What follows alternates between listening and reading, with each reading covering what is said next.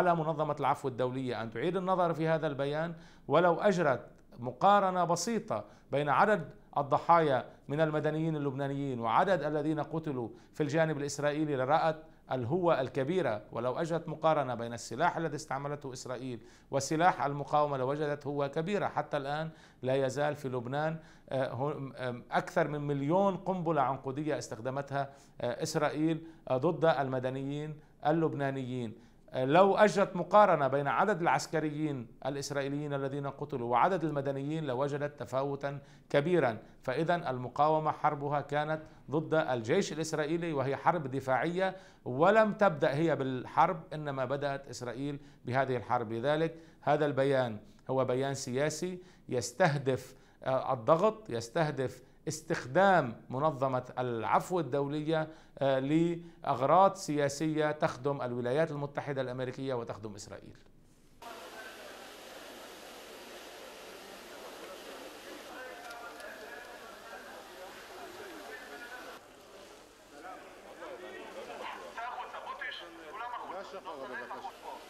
אני מבקש גם אנשי הציבור